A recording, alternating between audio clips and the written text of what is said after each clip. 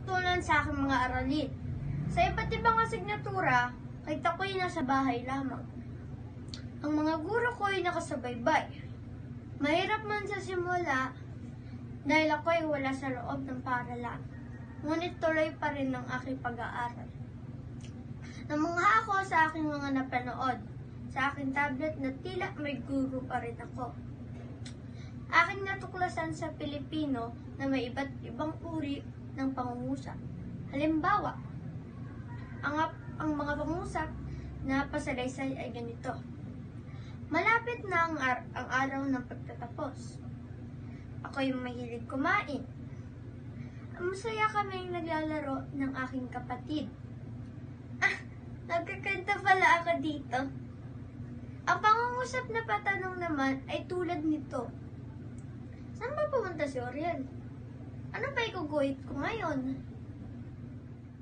Ang natuklasan sa araling panipunan, ang mga salik na nagbigay daan sa paggising ng kamalayan sa pagiging makabayan.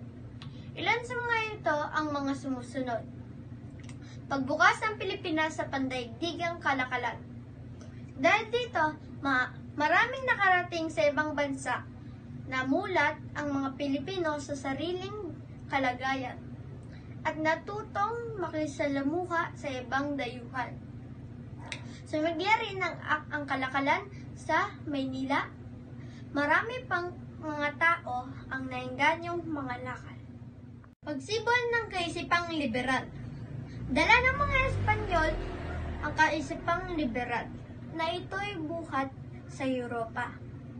Ipinamalas ito sa kanilang malayang pagkilos at pananalita. Ang ganitong kaisipan, pagkamat hindi tuwirang ipinalaganap ay tumatak sa isipan ng mga katutubong Pilipino.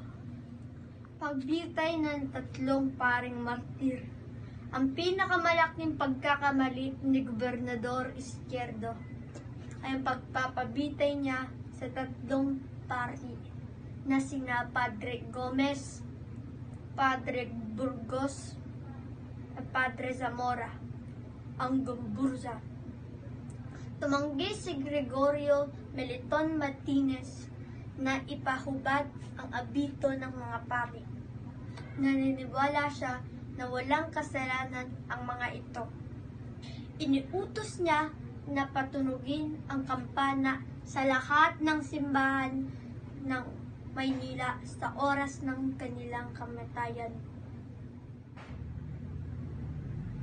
Ang tapang pala ng ating mga bayani. Nais ko rin silang tularan. Tuklasan naman sa edukasyong pantahanan at pangkabuhayan ang tungkol sa produkto at serbisyo. Ang produkto ay isang bagay na ginawa upang maibenta. Karaniwang, ang bagay na ito ay ginawa sa pamamagitan ng pang-industriyang proseso. Ang ibang produkto naman ay tinanim ng mga magsasaka. Matapos ay pinalago at inani. Upang ibenta ilan sa mga halimbawa ng produktong dumaan sa pang-industriyang proseso ay papel, plastic, bakal, mga gadgets, at iba pa. Samantalang, ang produkto namang nagmula sa pagsasaka ay ang mga prutas, gulay, at iba pa. Samantala, ang serbisyo naman ay ang, pagpapasa- ang pagsasagawa ng kakayahan ng isang tao upang makatulong sa kapwa sa pamamagitan ng pagkagawa ng produkto na may kinalaman sa paggamit ng lakas, pag-iisip, at kilos ng katawan. Ang pagbibigay ng serbisyo ang gumabay sa buong yugto ng distribusyon, produksyon at kalakalan sa naganap na isa lugar. Karaniwang mga nagmanggagawa at profesional na tao ang nagbibigay ng serbisyo na may katapat ng halaga ng panunungkulan batay sa uri ng nakailangan na serbisyo. Halimbawa ng mga nagbibigay serbisyo ay ang mga guro, doktor, tubero, at iba pa. Si Lola Pansi pala ay nagbigay ng serbisyo bilang isang volunteer ng, sa simbahan. Aking natuklasan sa edukasyong pagpapakatao na isa aalang-alang ang kapakanan ng kapwa tulad ng ang paglinis ng bahay upang maging ligtas ang aking kapaligiran. Ang pagtulong sa aking magulang sa pag-aalaga ng aking kapatid. Ang ang pagtulong sa aking kapwa, lalo na sa mga na- naapektuhan ng pandemya. Ang paggawa ng aking mga asignatura sa takdang oras.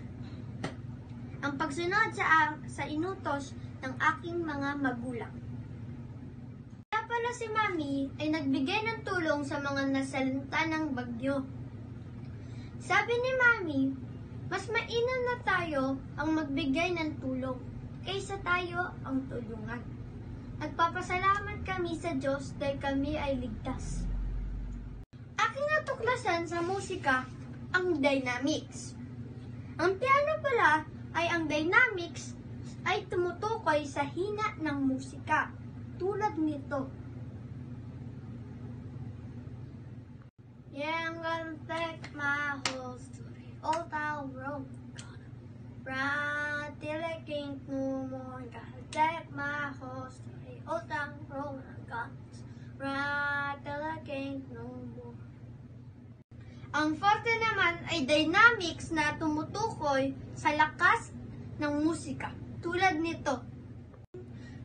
Worship that and see the name worship is a belly of. The winds blew and bowed it down. Oh, blow my bass blow. Ho! So mad, the naman ko mo bring the sugar and tea and rum. One day the tonguing is done, we'll take our leave and go. Ang iba pang uri ng dynamics ay ang mga pianismo, mahinang mahina, at fortismo, malakas na malakas. Ito naman ang mga special dynamics markings. Ang galing tal ang galing ko talaga kumanta. Walang ko kontra. ang iba pang aralin ay nasa wikang Ingles. Nosebleed. I learned in English about compound sentences to show cause and effect. He broke his arm, so the doctor put it in a cast.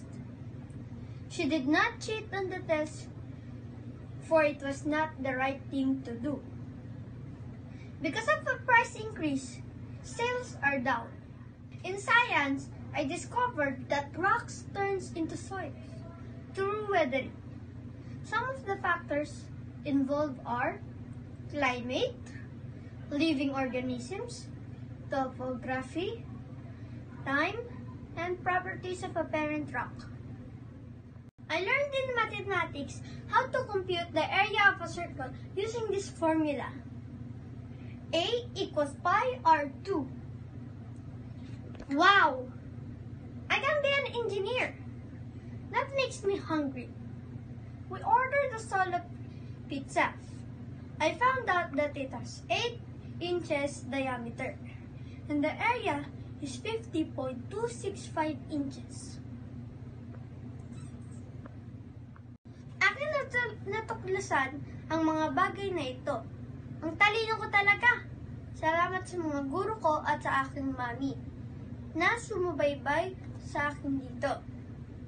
Gusto ko nang makita ang mga kaklase ko. Kamusta na kaya sila? Sana mawala ang pandemya para marami pa akong matuklasan kasama sila.